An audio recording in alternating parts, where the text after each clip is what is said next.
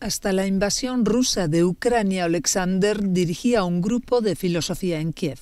Participaba en debates sobre los filósofos alemanes y trabajaba en su tesis doctoral. Cuando los primeros cohetes rusos cayeron en Kiev, el joven filósofo empuñó una ametralladora. Con la formación militar básica de su servicio militar obligatorio hace 17 años, Alexander se enroló en una unidad de artillería en el frente. No intellectual freedom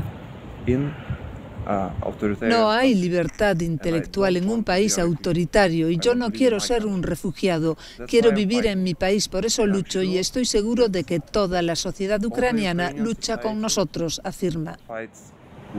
Alexander fue herido durante los bombardeos rusos. El joven filósofo está decidido a volver al frente cuando se le cure la pierna.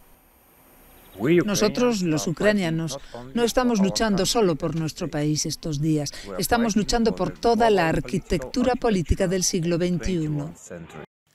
Otro filósofo ucraniano, Yuri, padre de cinco hijos y profesor, se convirtió en un francotirador del ejército.